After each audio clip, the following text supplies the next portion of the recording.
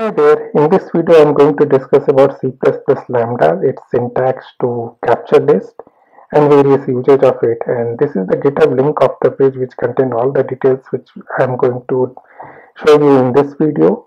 So let's start with the syntax. Uh, the details are there but I'll just show you in the code what is meant by it. So uh, lambda is written as this, this, this semicolon. This is a valid lambda. So you have open close square bracket, round bracket and curly braces and if you compile this particular program it will compile. Uh, by the way I am using Visual Studio 2015. So that's a perfectly valid lambda.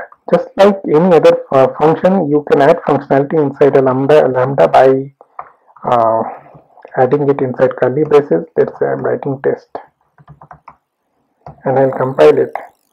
I can even run it, but the lambda function will not run.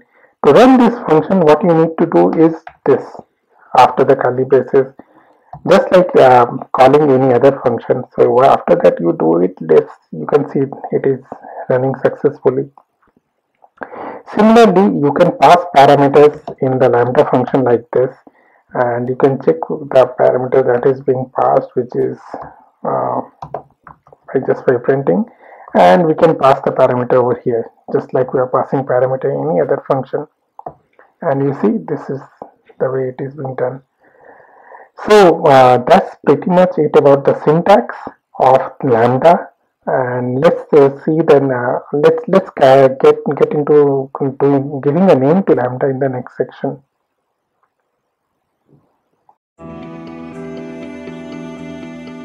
Now this section is all about giving name to lambdas and let's see how we'll do that. So the best way to give you a name to lambda is to use the C++ uh, auto keyword. So if I just say auto uh, lambda function equal to this, it should be fine.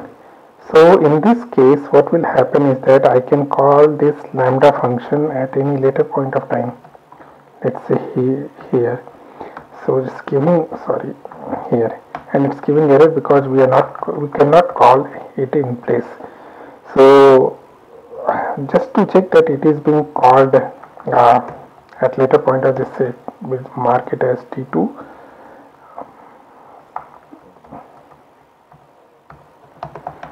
and uh, then we'll call lambda function.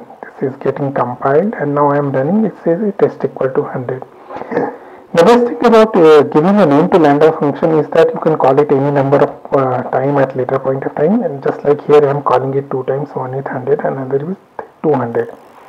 The auto keyword is a specific to C++ where if you say auto i equal to 100 it will mark i as int if you say 100.25 it will mark i as float. So auto you can use the other thing you can use is std for function. It's a template argument. So you will define it like this. And and let's give the name lfn only. For function you need to include a file called functional yes. And rest everything will be the same. If you compile it and run it you will see the same output.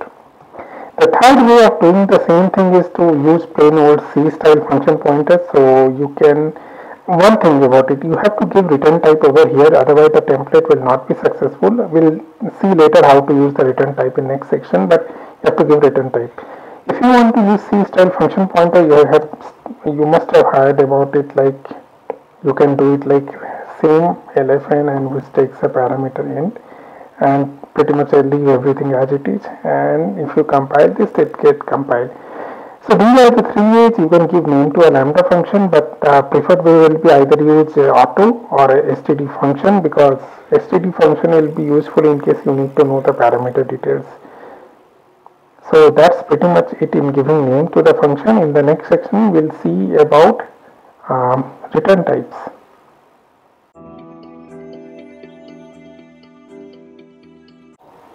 So now the return types uh, tells you how to return something from the lambda function. So let's say this was the function we were uh, writing earlier. Let's say I want to return something uh, from the, let's mark it first as auto. Uh, let's say I want to return something. Let's say I want to return an integer data and uh, let's say integer 100 uh, let's not pass any parameter for now.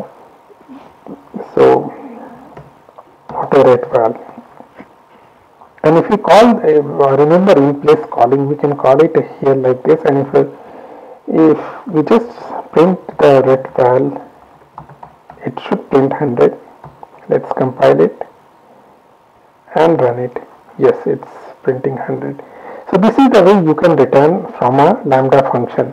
Uh, if you want to give a name to run lambda function let's say you are giving a name to lambda function and you are, you are taking a value and your return is actually value plus 1 for example and it's like this. So you, you can call this lambda function at any, um, any point of time by using lfn let's say i want to know auto ret val is equal to l lfn 100 i should get 101 over here in the C, out let's check it.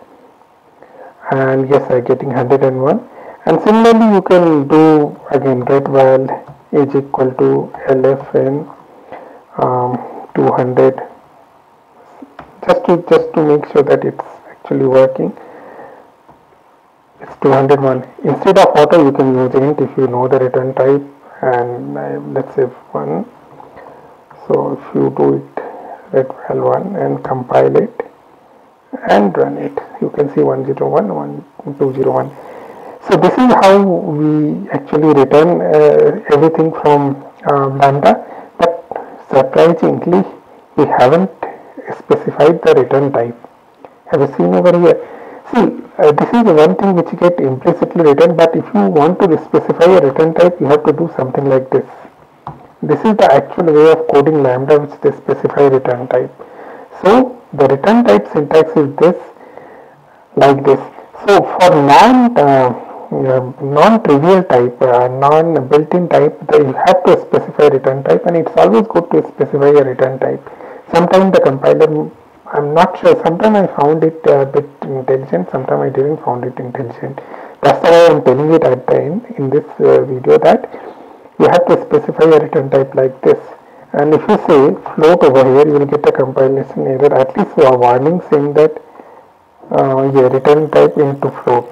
Okay, so this will actually make sure that you get to know the warning or something like that if you're expecting float especially if you're uh, using it auto so make it int and the warning will go off. So that's the uh, about return type. The fourth part is extremely important called capture list.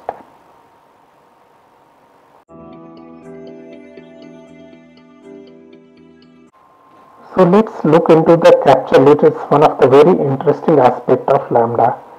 So let's come here. Where in the last section you might be wondering what this is for. So here comes the capture list. Let's say if you have a local variable called x uh, and y and uh, let's say you're not passing anything, it's returning n. In the capture list you can pass the local variables as pass by value as well as pass by reference. So let's say I'm just saying x plus y over here. So I am calling this function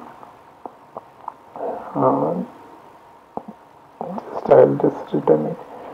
So I'm calling x plus y over here, so it should give me 30. So it's a call by value. It's compiled and it's given 30. Similarly, we can specify an ampersand which will indicate pass by reference.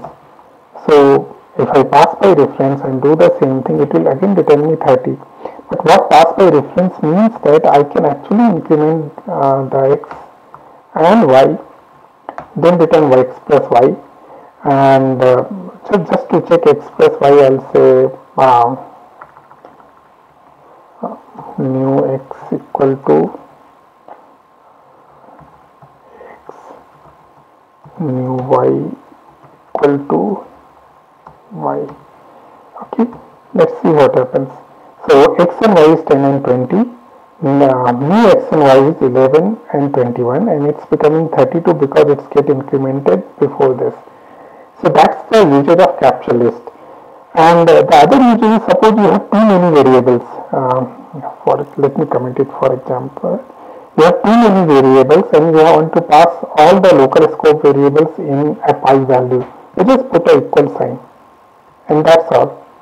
And so equal sign uh, do it pass by value and if you run it, it's uh, 30, no x is 10, y is 20, okay. And if you want to pass all the local variables as uh, by reference, use ampersand. Now you can use this also. It's compiled, now you can see the same behavior.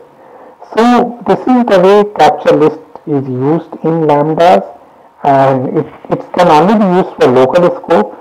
If you are passing by value, you cannot do this these two statements or you can do only after when you are passing by reference.